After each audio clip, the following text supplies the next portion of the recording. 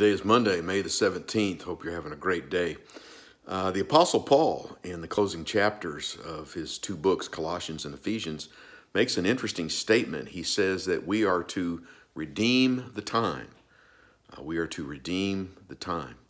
Uh, that little phrase, redeem the time, uh, is actually a word that means out of the marketplace, uh, like you're purchasing something out of a market. Uh, one translator gives us this rendering. It is to improve opportunity. It is to improve opportunity.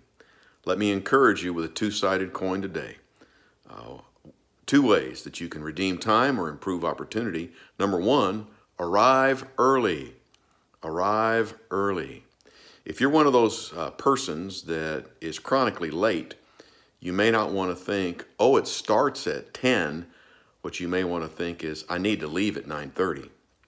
Nevertheless, if you can arrive early, there are just opportunities uh, to visit, to help, to encourage, to see, uh, to take in, uh, to give yourself some downtime. Uh, you never know. Early bird gets the worm. Arrive early. Not only that, but stay later.